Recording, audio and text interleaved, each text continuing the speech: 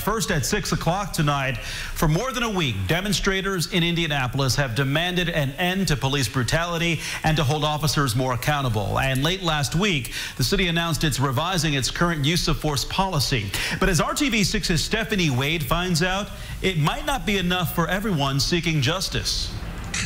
Major steps in the city's history, according to the mayor of Indianapolis, were taken last week. For the first time, the use of force by police officers will be reviewed by the citizens of Indianapolis. Just one of the changes made following nearly two weeks of protests against police brutality and the deaths of George Floyd and Dreasjon Reed here locally that have rocked the city and the nation. Not only long overdue, but uh, frankly are in keeping with uh, standard best practices.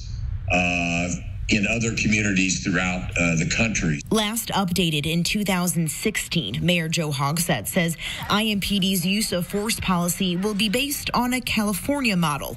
Number one, creating a clear standard for use of deadly force updating the requirement for identification and warning before using deadly force, banning the use of chokeholds entirely, outlining clearly defined de escalation requirements, defining an officer's duty to intervene and report when another officer uses inappropriate force not previously required prohibiting shooting into moving vehicles, requiring reporting of all uses of force by an officer, both lethal and non lethal.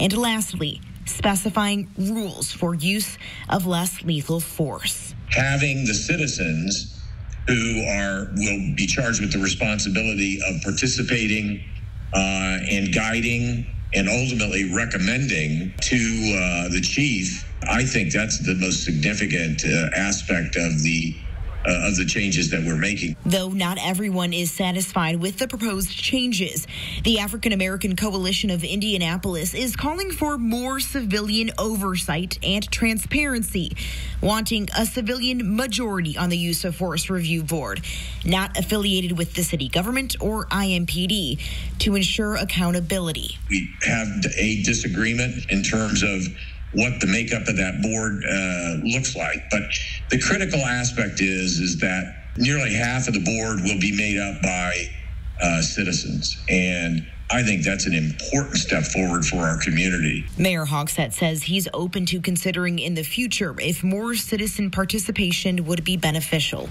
but feels the changes they're making now are significant and will be impactful for all people living and working in Indianapolis. Stephanie Wade, RTV6. Well, the IMPD General Orders Committee is expected to vote on the drafted use of force policy this week. Beginning July 6th, IMPD will start training officers on this new policy.